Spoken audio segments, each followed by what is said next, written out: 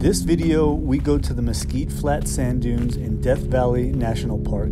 Sand dunes are an amazing way to learn about composition and light. We're going to talk about things to look for and how using a long lens is a great way to bring out the textures and shapes of these amazing landscapes.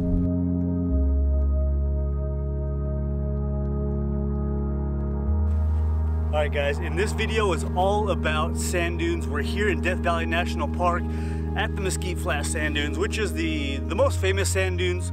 Uh, we started walking out and we're really, really far away from the main dunes. Uh, we found a different way to get in and we kind of walked out in the middle of a place where there's no footprints or anything like that because that does get heavily trafficked, the uh, main area over there. So right now, uh, Chris is already actually setting up for a shot here. Uh, we want to show you guys what we look for because sand dunes can be really chaotic. Um, they can be really hard to photograph if you're, you know, there's just stuff everywhere. And so we're gonna kind of show you guys a few tips on how to photograph dunes. All right guys, so the first tip I wanna give you is look for patterns. Uh, the wind causes a lot of beautiful patterns in these sand dunes. Really concentrate on the little things first. I mean, that's a huge deal. You know, you got a lot of big landscapes out here and a lot of beautiful areas, but one great thing about sand dunes is you don't have to use the sky. It could be, it's almost a completely blue sky right now. And I found a shot here. It is still a good, I'd say almost two hours until sunset. And I'm already taking shots because the shadows are absolutely brilliant here. So what I'm doing is I found a like a big bank of just these beautiful kind of wavy patterns in the sand and I'm just taking a shot. It's really abstract and the way I've set up my composition here is I'm actually doing a landscape orientation. The reason why I'm doing landscape and not portrait is because all the lines are all vertical lines. They're all leading vertically and I think it looks so much better that I have a, a, a landscape orientation that's you know horizontal and not vertical because the lines are already going vertical. It's kind of like photographing straight trees uh, I think to me, my eye, it looks a lot better when you got a bunch of vertical lines, but then you have a, a landscape orientation. It's uh, one thing to kind of keep in mind that you can do that I think I'm gonna like, and I also think what I'm probably gonna do is do a little bit of a panel here. So I'm going to take some shots, maybe five or six shots, and do like a panorama of the same thing. So just a long panorama of vertical lines. I think that might look really nice. So that's what I'm gonna do right now. And uh, yeah, already knocking out my first shot. Still two hours to sunset, so it's really nice.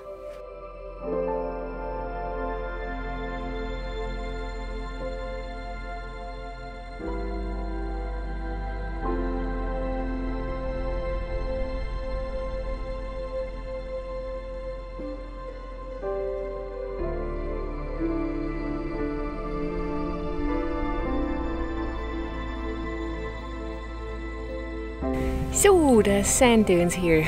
Uh, sand dunes can be very hard to photograph because it's very overwhelming. Um, you have to think in smaller frames.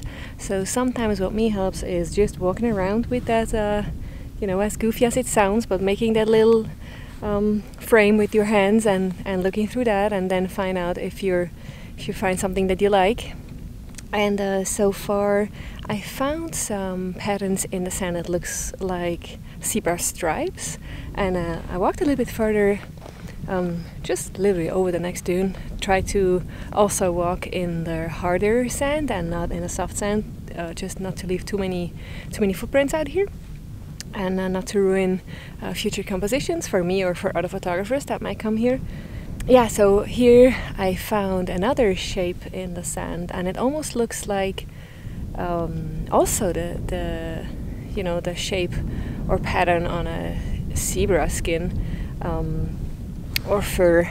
And uh, yeah let's see what I I hope I can do some dodging and burning and bring out the dark parts of the photo and and make it look even more like a zebra.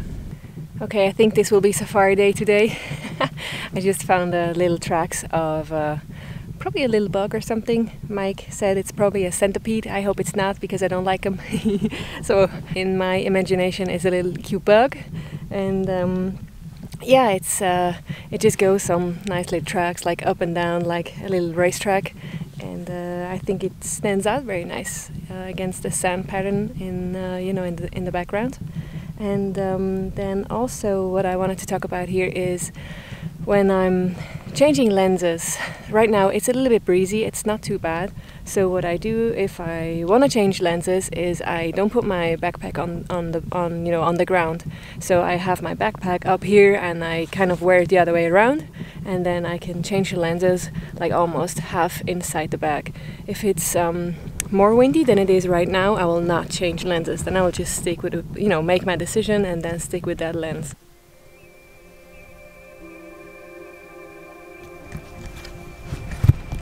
There you have it guys. It was a cute little bug, it was not a centipede.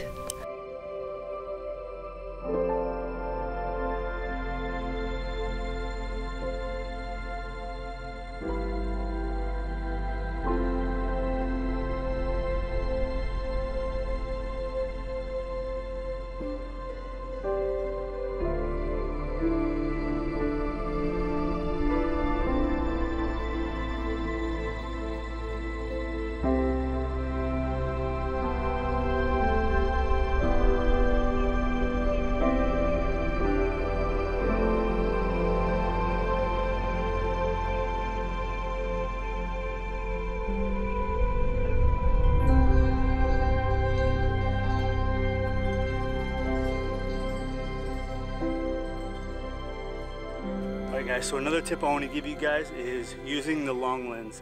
The long lens is your best friend out here with dunes. Uh, I find a lot of times when you're using a wide angle lens and you're trying to capture a bunch of the dunes, uh, what happens is it flattens everything out and you lose a lot of the scale of it.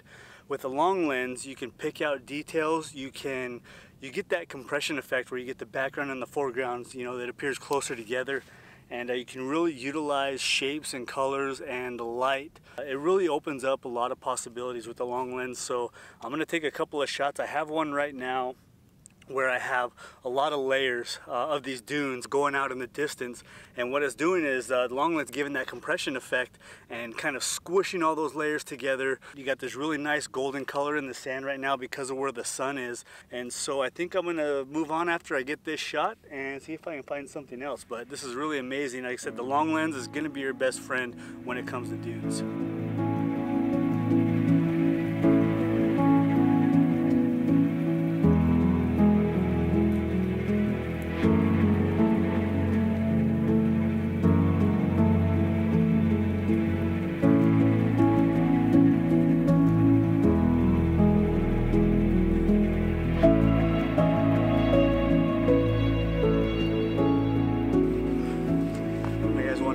That I'm doing is just watching the light. There's a lot of light and shadow and if you take away everything around it, just look at what the light and the shadow is doing, you get some really cool shapes. And I'm just taking it handheld with my long lens because to be honest with you, my long lens, I have a hard time seeing something uh, that would look good with a long lens. So I actually have to physically put on my long lens and look through it and just kind of look around and uh, just right through the viewfinder and that way I can kind of see what things look like with that compression uh, effect. And a lot of times I end up just finding something and I'll uh, handheld. I don't mind if I just have to ratchet up the ISO a little bit or open up the aperture a little bit. But uh, if I end up having to just shoot it handheld, which I normally don't do, I prefer to use a tripod. But with something like this where the light's constantly changing that sun's getting ready to set right now over the, the mountains back there. So all this light's gonna be gone here in probably about 10 or 15 minutes. So what I'm trying to do is just handhold everything, uh, bumped up that shutter speed to like 1 640th of a second. Uh, my ISO is gonna be probably up higher a little bit, maybe 250, which isn't high at all, but higher than the base ISO of 64. Whatever I need to do to get it properly exposed, but also just get my shot. It's a little more run and gun style than a deliberate setup on the tripod, but I find that I find more compositions that way with a long lens because I'm not very good at seeing it with my eyes.